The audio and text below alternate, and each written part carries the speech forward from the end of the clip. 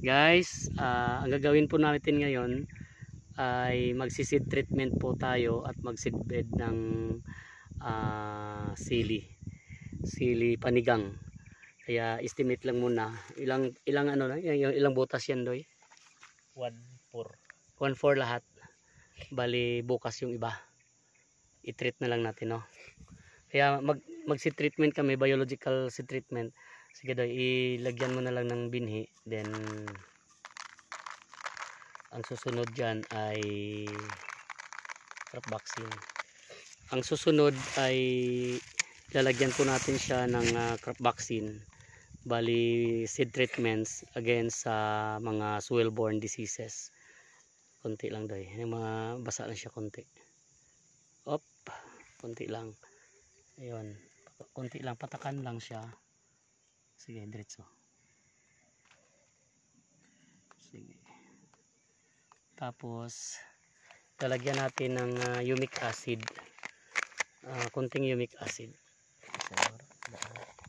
Sige, yan ang humic acid natin. Sige. Ayan. Ah, Kulang pa yan. Ang humic acid at saka yung vaccine, bali consider po siya na basal. May nutrients na siya, may pro- may protection pa. Then magdagdag po tayo ng magdagdag tayo ng vitsin. Ayan po yung vitsin. Uy, naula. Ah, konti lang. Masigun dua ka dua ka pins. Sige, dugangi pa. Dagdag ka. Sige pa. Okay. Yan. Dagdagan mo pa siguro. din. Ang vitsin ay isa siyang ah, source ng amino acid at saka mga minerals na kailangan din ng ating halaman. At isa din po siyang protection para sa mga ah, insekto lagaya ng ah, ah, tawag nito, langgam para hindi po siya kakainin ng langgam.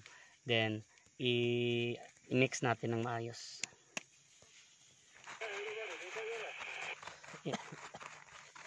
Kailangan ito mag-itim. Kulang pa ito doy ng humic acid.